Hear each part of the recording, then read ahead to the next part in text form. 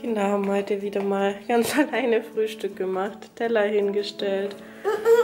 Cornflakes. Maike Leiner wie Leiner. Ja, ich sag mal, Also, Sophie und Maike. Maike haben es ganz alleine gemacht. Hier noch ein bisschen Kuchen. Habt ihr richtig, richtig toll gemacht, wirklich. Niki ist hier in dem Bettchen. Solange der ruhig ist, werde ich jetzt noch die Lunchboxen machen. Ein bisschen habe ich hier schon reingemacht. Zwar haben wir gestern so ein Hotdog-Brot gemacht. Da ist äh, was übrig geblieben. Das bekommt die Sophie dann quasi zum Mittagessen im Kindergarten. Also sie bekommt immer zwei Lunchboxen. So, ich bin schon fertig. Hier habe ich jetzt zum Frühstück Nusskuchen, Erdbeeren, einen Joghurt. Hier eben dieses Hotdogbrot, Trauben und Milchschnitte.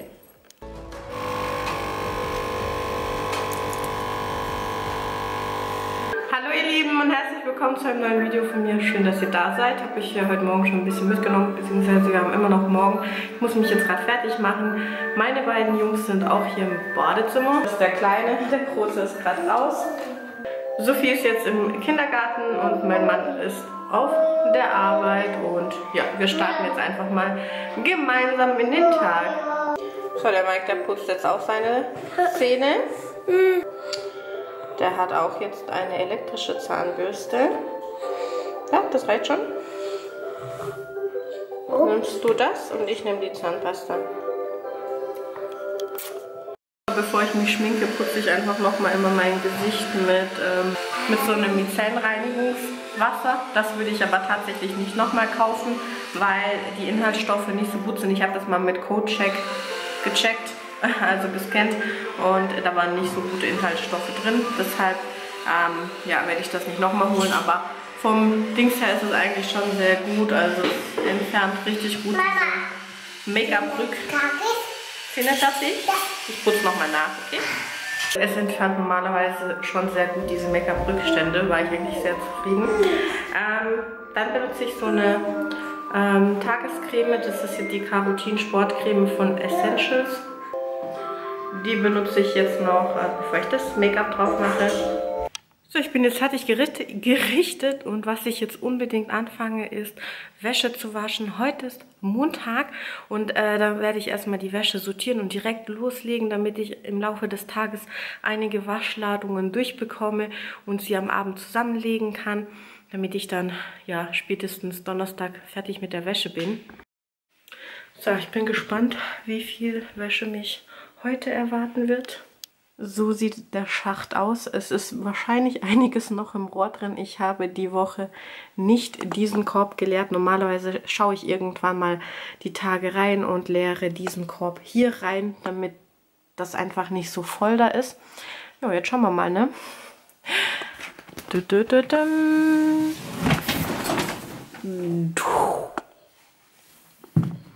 Okay, jetzt heißt es Wäsche sortieren. So, Wäschekörbe sind leer. Ich habe das Ganze hier sortiert und eine Ladung Wäsche läuft schon. Hier im Schrank habe ich übrigens den Rucksack von der Sophie. Wir haben am Wochenende den Rucksack bzw. den Schulranzen gekauft und den nehme ich jetzt. Ich möchte nämlich ein Video darüber drehen und ihn vorstellen und worauf man achten muss beim Kauf. So, ich habe jetzt gerade das Video für, von dem Schulranzen gedreht. Das hat irgendwie richtig Spaß gemacht, weil ich den Schulranzen gesehen habe und mich so gefreut habe für die Sophie, dass sie jetzt ja, einen Schulranzen hat. Es ist so krass, dass sie die, dieses Jahr in die Schule geht und ich weiß nicht, ich freue mich so richtig für sie, dass sie diesen weiteren Lebensabschnitt bald geht und sich so einen schönen Rucksack ausgesucht hat, beziehungsweise ja, Schulranzen. Ich sage immer Rucksack, aber es ist ein Schulranzen.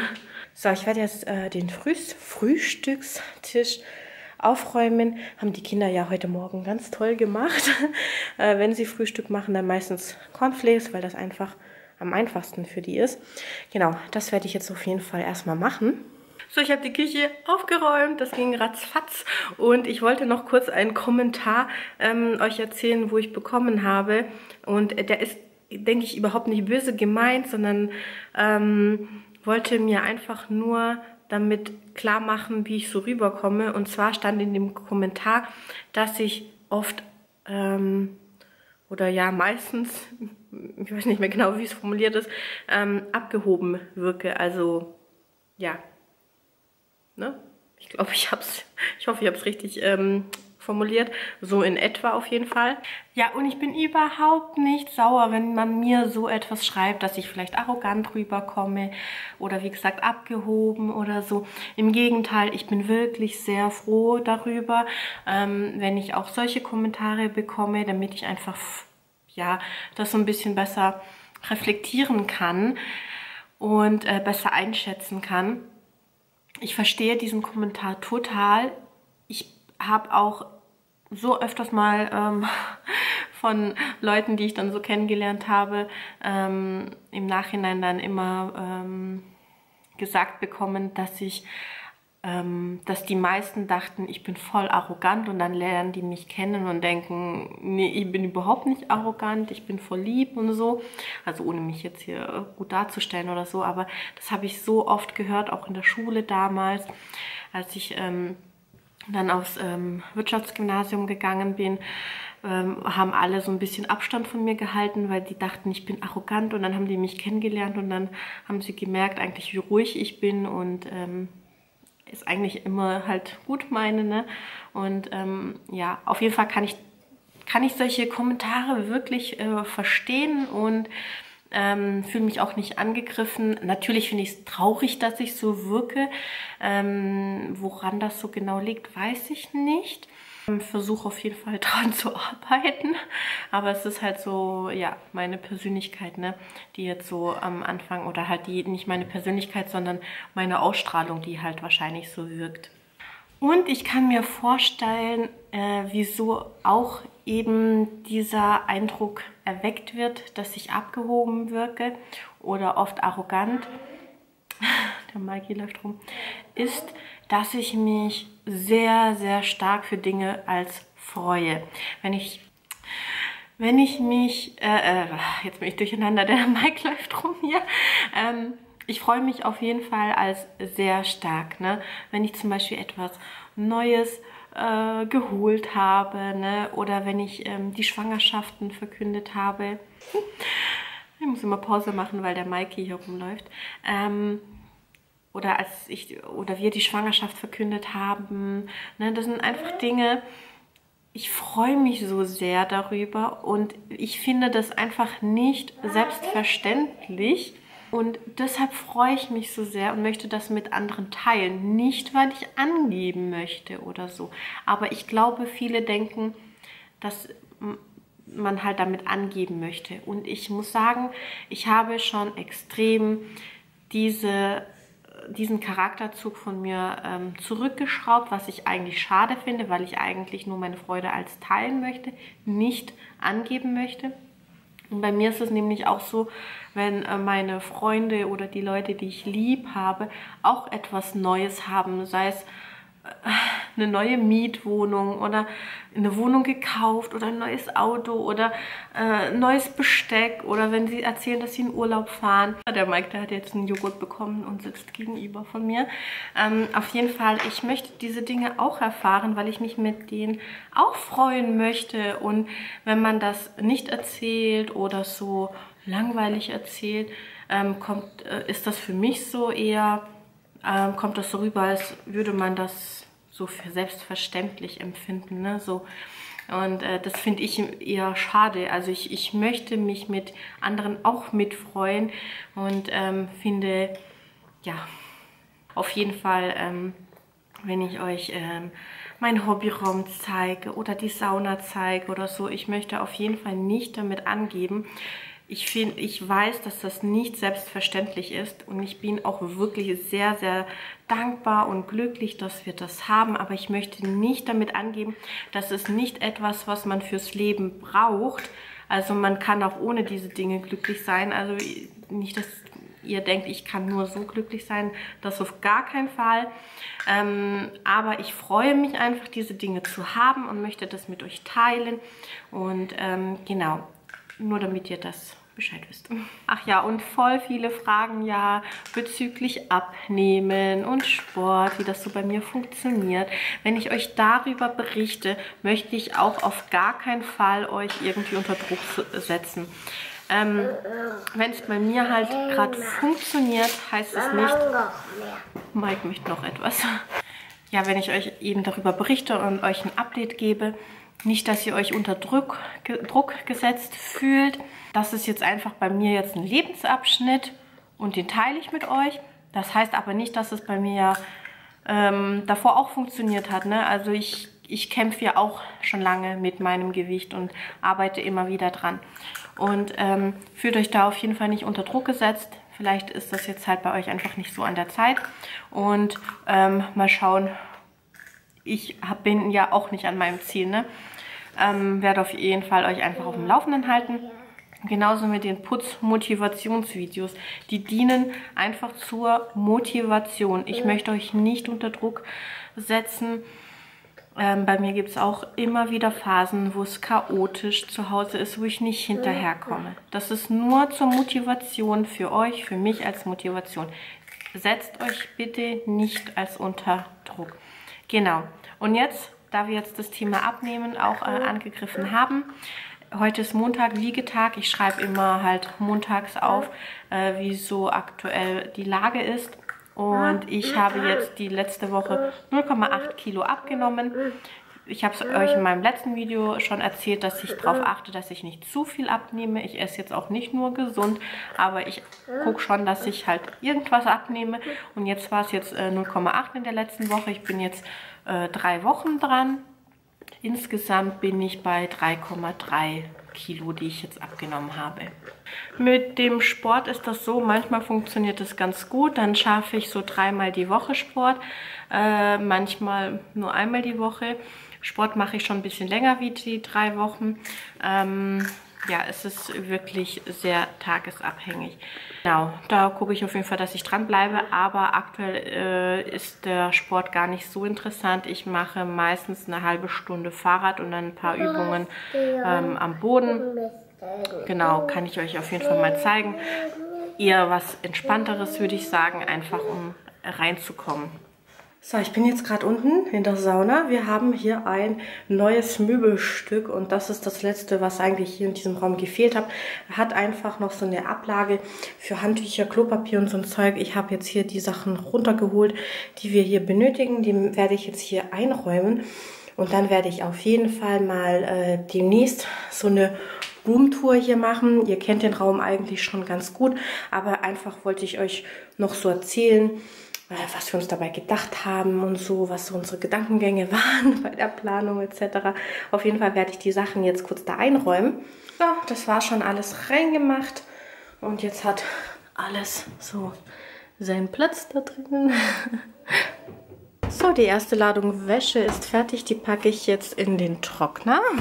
Ich muss ehrlich gesagt zugeben, dass ich hauptsächlich nur den Trockner benutze.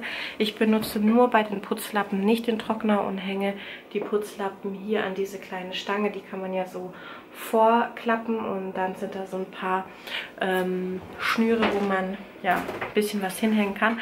Aber dort mache ich nur die Putzlappen hin, weil die, der Trockner würde die Putzlappen kaputt machen. Also ist nicht so gut. Und ich muss äh, sagen, ich weiß, es ist eigentlich nicht so gut für die Umwelt. Es wäre viel besser, gerade bei warmen Temperaturen die Wäsche draußen zu trocknen.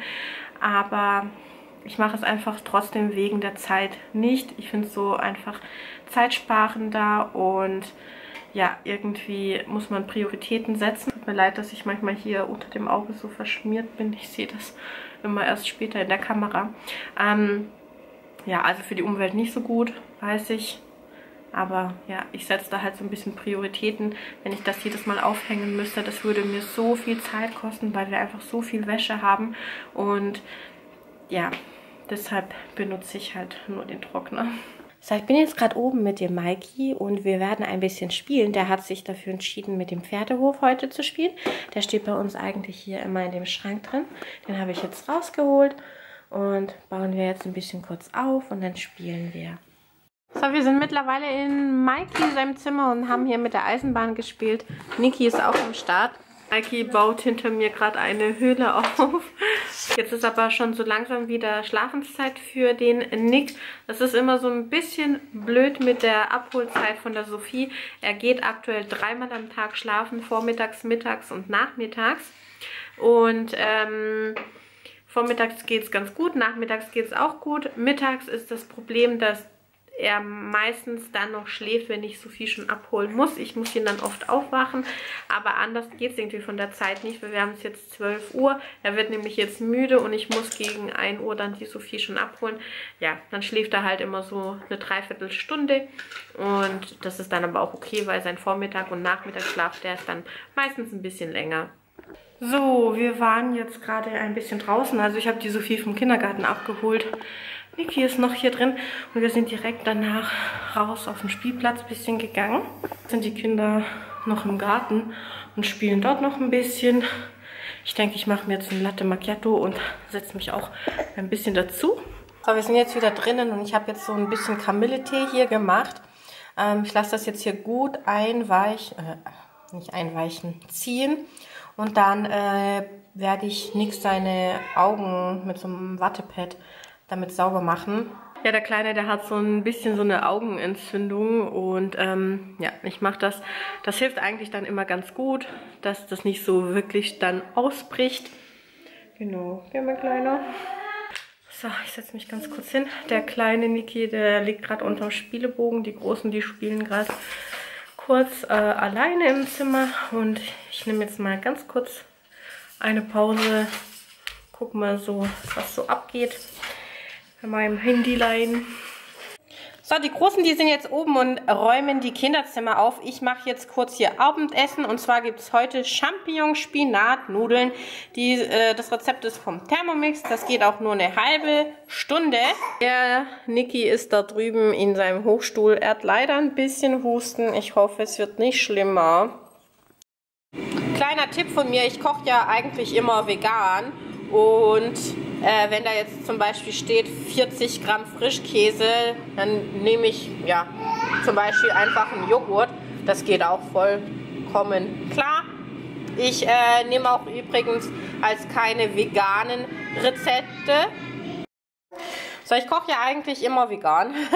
Und wenn da jetzt zum Beispiel steht 40 Gramm Frischkäse, nehme ich jetzt zum Beispiel hier einfach auch einen Naturjoghurt. Das geht auch vollkommen klar.